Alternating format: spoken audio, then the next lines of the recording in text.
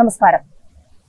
മലയാളികളെ എല്ലാ കാലത്തും വിസ്മയിപ്പിച്ച സാഹിത്യ ലോകത്തെ എന്നത്തെയും വലിയ അത്ഭുതമായ ഖസാക്കിന്റെ ഇതിഹാസത്തിന്റെ അൻപത് വർഷം സുവർണ ജൂബിലി നിറവിൽ കടന്നു പോകുമ്പോൾ ആ ഓർമ്മകൾ ഒപ്പം ആനുകാലിക സംഭവങ്ങൾ ഇപ്പോൾ ഏറ്റവും ഒടുവിൽ വാളയാറിൽ തുടങ്ങി യു എ പി എയിൽ വരെ എത്തി നിൽക്കുന്ന കേരള സമൂഹം ഒരുപാട് ചോദ്യങ്ങൾ ഉത്തരവുമായി പ്രശസ്ത സാഹിത്യകാരൻ ആശാ മേനോൻ ചേരുമ്പോൾ അദ്ദേഹത്തിന്റെ ഈ വിഷയങ്ങളെക്കുറിച്ചുള്ള നിലപാടെന്താണ്?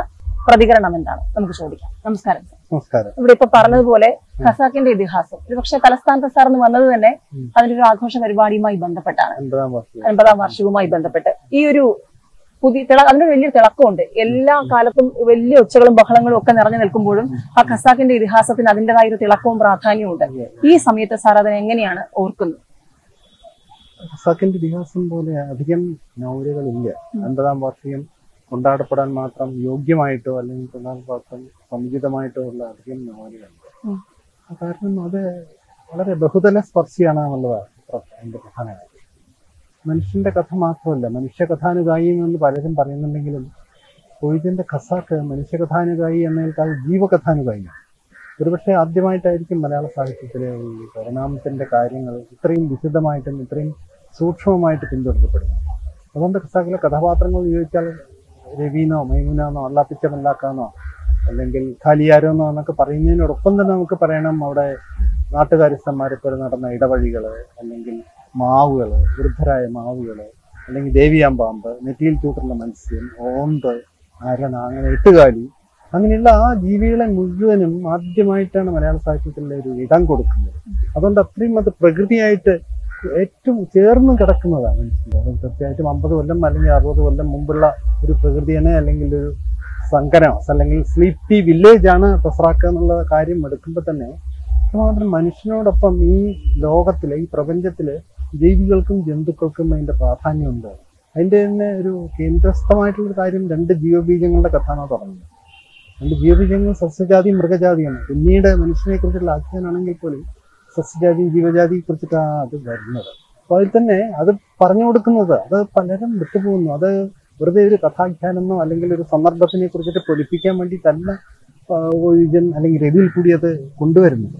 മറിച്ച് രവി ഏകാധ്യാപക വിദ്യാലയം തേടിയിട്ട് എങ്ങനെ രവി അവിടെ എത്തിപ്പെട്ടതെന്നല്ല അതെല്ലാം എല്ലാം എത്തിപ്പെടലുകളാണ് സാറിൽ അല്ല നേരത്തെ കുട്ടി പ്ലാൻ ചെയ്തിട്ടോ അല്ലെങ്കിൽ നേരത്തെ കുട്ടി ഉദ്ദിഷ്ടം എന്നല്ല ഉദ്ദേശപൂർവം അല്ല അത്. വളരെ വളരെ ആക്സിഡന്റൽ അല്ലെങ്കിൽ വളരെ വളരെ യാദൃച്ഛികമെന്നോ അല്ലെങ്കിൽ ആകസ്മികം എന്നൊക്കെ പറയാവുന്ന രീതിയിലാണ് സഖിന്റെ ഗതി തന്നെ പോകുന്നത്. അതുകൊണ്ട് വിജയൻ പറയുന്നത് അതിന്റെ കഥാപാത്രങ്ങൾ എന്നെയും വലിച്ചു കൊണ്ടുപോകായിരുന്നു എന്ന് ഇതിഹാസത്തിന് ഇതിഹാസത്തിൽ പറയുന്നത് അപ്പൊ അത് ഈ രവി അല്ലെങ്കിൽ തന്റെ മുമ്പിലുള്ള കുട്ടികൾ മുപ്പതോ നാൽപ്പതോ വരുന്ന കുട്ടികൾ ഏറ്റവും പ്രാകൃതമായിട്ടുള്ള അവസ്ഥയല്ല. കവറപ്പേച്ച് മാത്രം നിശ്ചയമുള്ള കുട്ടികൾ.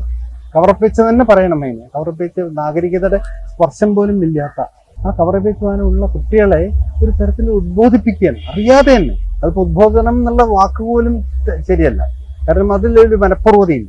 ഇങ്ങനെ മനഃപൂർവം ആ കുട്ടികൾക്ക് പരിണാമത്തിന്റെ കഥ പറഞ്ഞു കൊടുക്കുക. രണ്ട് ജീവബിന്ദുകളിൽ കൂടിയിട്ട് പരിണാമത്തിന്റെ കഥയെ പറഞ്ഞു കൊടുക്കുന്നത് അല്ല മറ്റു കഥകളല്ല. എങ്ങനെ മനുഷ്യന് ഉദ്ഭവിച്ചു. എങ്ങനെ മനുഷ്യന് മുൻപ് ചരാചരങ്ങൾ ഉദ്ഭവിച്ചു. അതാ കനാലസരായ ദിനോസറുകൾ എന്നൊക്കെ പറഞ്ഞിട്ട് ഏറ്റവും കാവ്യാത്മകമായിട്ട് ഏറ്റവും രമണീയമായിട്ട് അങ്ങനെ അവർ അതിൽ കൂടെ അവർ പെട്ടെന്ന് മനസ്സിലാവുന്ന തങ്ങൾ കാണുന്ന ഈ ഒരു ചെറിയ ഗ്രാമമല്ല തങ്ങളുടെ മനസ്സിൽ വരേണ്ടത്. ഇതിനപ്പുറത്ത് വലിയ വിശാലമായൊരു പ്രപഞ്ചമാണ്. അങ്ങനെ ആ പ്രപഞ്ചത്തിലേക്ക് അവരുടെ കൺമുഴിപ്പിക്കുകയാണ് അപ്പൊ ഏറ്റവും ഏറ്റവും ജിജ്ഞാസേന ഒരു ഏത് കുട്ടിക്കും ഒരു അവസാനം വരെ ജനിച്ച് മരിക്കുന്നവരെ അവനെ പിന്തുടരേണ്ട ഒരൊറ്റ വാസന ജിജ്ഞാസയാണ്. ക്യൂരിയോസിറ്റി ബി ക്യൂരിയസ് ആ ജിജ്ഞാസയാണ് രവി തന്റെ കുട്ടികളിൽ അല്ല ഏകാഭിദ്യാലയത്തിന്റെ സിലബസിലുള്ളതല്ല രവി അവർക്ക് പറഞ്ഞു കൊടുത്തത്. ഇത് ഈ തരത്തിൽ വളരെ സൂക്ഷ്മമായിട്ട് പ്രകൃതി എങ്ങനെ മനസ്സിലാക്കേണ്ടത്? പ്രകൃതിയിൽ നിന്ന് എങ്ങനെ മനുഷ്യൻ വേർപൊട്ടി വന്നത്? പിന്നെ എങ്ങനെ പ്രകൃതിയെ അതിജീവനത്തിന് വേണ്ടിയിട്ട് പ്രകൃതിയെ ഉപയോഗിപ്പിച്ചത്? ഇങ്ങനെയുള്ള കാര്യങ്ങൾ വളരെ വളരെ മന്ത്രമായിട്ടും എന്ന് വെച്ചാൽ ഒരു അധ്യാപകനേക്കാൾ കൂടുതൽ ഒരു സുഹൃത്തായിട്ട് അവർക്ക് പറഞ്ഞു കൊടുക്കുന്നത്. ആ പറഞ്ഞു കൊടുക്കുന്നതിന്റെ ഫലമായിട്ടാണ് കുഞ്ഞാമിനെ ഒരു പെൺകുട്ടി മാഷെ പേരിന് ആത്മാവുണ്ടോ എന്ന് ചോദിക്കുന്നത്. നമ്മുടെ ഒരു മലയാള സാഹിത്യ കൃതിയിലും അങ്ങനെ ഒരു ചോദ്യം പത്തോ പന്ത്രണ്ടോ വയസ്സായ ഒരു കുട്ടി ചോദിക്കില്ല. അപ്പോൾ ആ ചോദ്യം ചോദിക്കാൻ പ്രേരണ വലിയൊരു ചോദ്യമാണ് പിന്നെ ആത്മാവുണ്ടോ എന്ന്. കാരണം മനുഷ്യൻ മാത്രമേ മറ്റെല്ലാ പരിഗണനയുള്ളൂ ആ മനുഷ്യനെ മാറ്റിയിട്ട് വളരെ എന്ന ഹ്യൂമനിസം എന്ന് പറഞ്ഞിട്ട് അറകണ്ട് ഹ്യൂമനിസം എന്നുള്ള ഒരു കാര്യം മാറിയിട്ട് കാരണം മനുഷ്യന് വേണ്ടിയിട്ട് ഭൂമിയും പ്രകൃതിയും സൃഷ്ടിക്കപ്പെട്ടതെന്നുള്ളത് മാറ്റിയിട്ട് ഇതെല്ലാ ജീവികൾക്കുമാണ് എന്നുള്ള ഏറ്റവും പ്രാഥമികമായിട്ടുള്ള പാഠം കുട്ടികൾക്ക് മനസ്സിലാക്കും